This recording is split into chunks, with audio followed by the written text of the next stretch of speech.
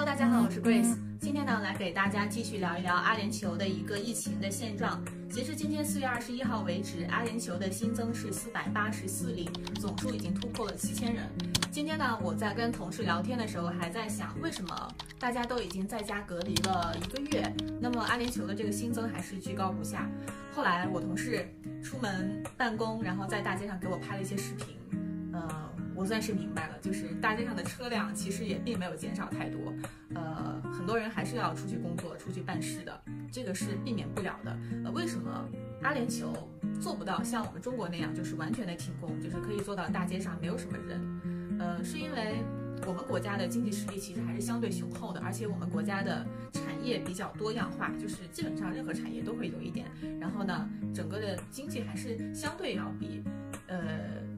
性还是相对要强一些，但是阿联酋就不太一样，它的这个经济各方面没有那么多样化，然后很多产业如果是停工的话，可能会造成大量的人失业，甚至造成一个这个社会的不稳定的状况。所以说，我觉得阿联酋的抗疫工作还是任重而道远。那么说到迪拜的抗疫工作，我觉得真的是非常有特色，非常有创意。呃，像我们之前所说的，把这个最大的会展中心——迪拜世贸中心建成方舱医院，这个其实也是跟很多地方都不一样的。呃，那么近两天，迪拜王储就是最受大家欢迎的那个最帅的那个王储，还有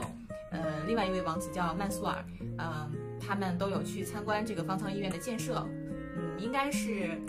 这个礼拜差不多可以建成。还有一个我觉得非常有创意的，就是昨天迪拜急救中心投入使用了一个隔离胶囊，呃，是用来转移新冠病毒高危患者的过程当中，可以完全的保护我们的医护人员。呃，这个胶囊呢，大家可以在图片看到，它是一个透明的人心大小的一个胶囊，然后把重症患者放在这个胶囊里面，然后里面采用了一个负压的技术，可以保证，呃，这个患者在胶囊里面可以有氧气呼吸，同时呢是完全密闭的一个空间。可以完完全全的保护我们的医护患者不要受到感染，我觉得这也是非常非常有效且人性化的一个措施，因为，呃，医护人员他们真的是，嗯，非常的辛苦，而且处在一个非常危险和高压的环境之下，所以，呃，这样的一个很好的防护措施，我觉得是很有必要的。那么最近阿联酋航空呢，也给空姐换上了一套新的衣服，就是我们也可以看到一个照片，这个照片上空姐除了戴了护目镜、口罩还有手套之外，他们的这个防护服也是专门设计过的。这个防护服首先它是可以保证这个空姐的一个自身安全，还有保证乘客的安全。呃，另外呢，它是有非常非常有设计感的一个防护服，所以我觉得这个是在即便在疫情的期间，也保证了空姐的一个非常优雅、非常曼妙的一个形象。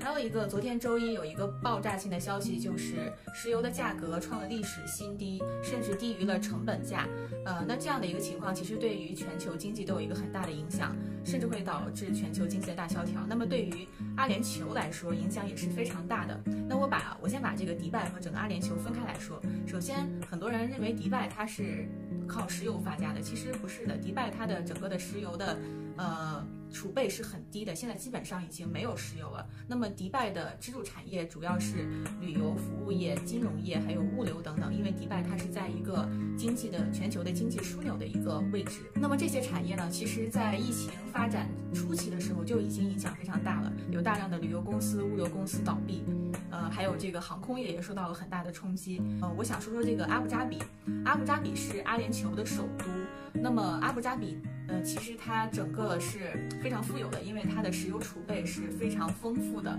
呃，那么这个原油价格的下跌呢，对阿布扎比的经济影响是也是巨大的。首先会有大量的这个石油公司倒闭，再一个就是呃我们所说的那些中东大土豪、迪拜大土豪，一些这个阿联酋的皇室，他们手中是有大量的这个石油资产的。我们所说的石油资产，并不是说他家里有多少油田，或者是有多少桶油，而是他们会有大量的石油相关的证券啊、股票啊这样的金融资产。